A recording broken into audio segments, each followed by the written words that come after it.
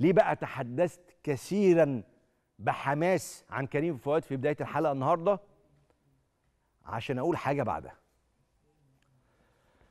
أنا هتكلم عن كريم فؤاد بحماس وأقول إنه عمل حاجة رائعة رائعة رائعة.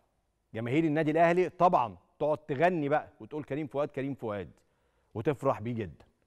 الجهاز الفني يفرحوا جدا بكريم فؤاد لاعبهم. كريم فؤاد بقى اللاعب نفسه تبقى رجله على الأرض. لسه بدري. لسه بدري. الناس بقى اللي حطت صورتك النهارده مع محمد بركات الناس اللي حطت صورتك مع فالفيردي الناس اللي كل ده سيب الناس تفرح بيك زي ما هي عايزة. انت كريم فؤاد تبقى عارف انت واقف فين. لسه المشوار طويل. رائع لاعب رائع وإن شاء الله يبقى أحسن من كل الأسماء. بس هو يحط رجله على الأرض. لو طار هيطير زي اللي طار.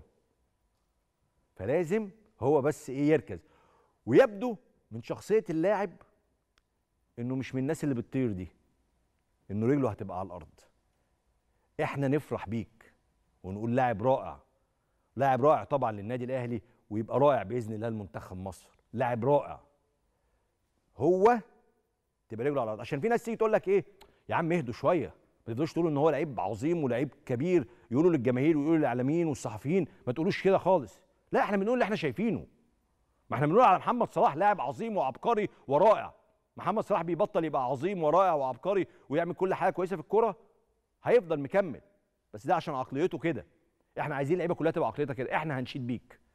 بس انت تقول لا أنا لسه ما وصلتش لحاجة. أنا لسه فاضل لي كتير قوي. أنا لسه محتاج اشتغل كتير قوي عشان ابقى واحد من النجوم الكبيرة في تاريخ الكره المصرية. لسه بدري. لسه. لسه كتير. بس هو لاعب رائع جدا.